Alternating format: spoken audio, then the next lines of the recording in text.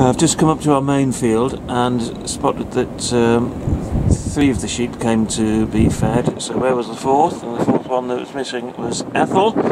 That's her there. She was here in one of the sheds and she is now gone into labour.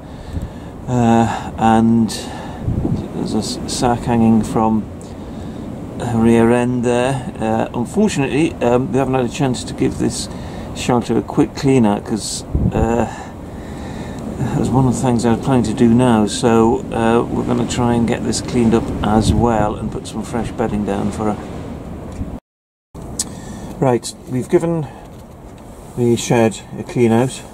I put a bit of hay down that was in a sack uh, in, in the shed already.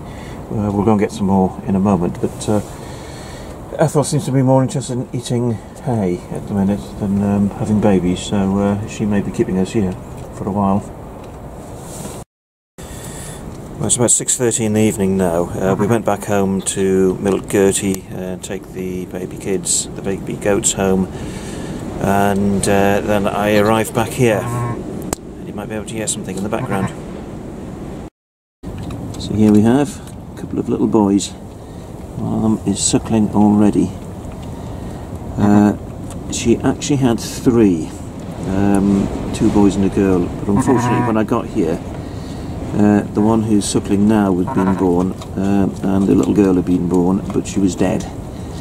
Uh, and having spoken to Joe, um, I think what's happened is that because it's so unusual to have uh, anything other than a single baby for a first birth, uh, then firstly that would explain why she was suffering signs of malnutrition a few weeks ago, um, and secondly it will explain why the uh, the baby, uh, the, the little girl died because she was the runt of the litter. But we've got two boys now, and this last one here, this uh, is on the right, this one, absolutely massive. But I actually had to deliver him because he was coming out the wrong way. He was coming out back end first. So um, I had to get my hand inside her.